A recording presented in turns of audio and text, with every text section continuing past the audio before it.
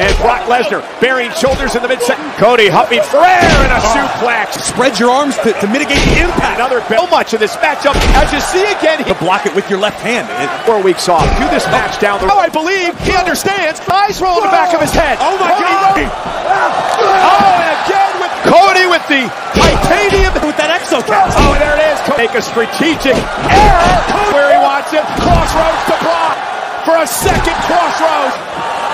Come on, come on. Point is, you know damn well Cody's not going to fight. The pressure to Rhodes. Crap. Cody has nowhere. How he get there?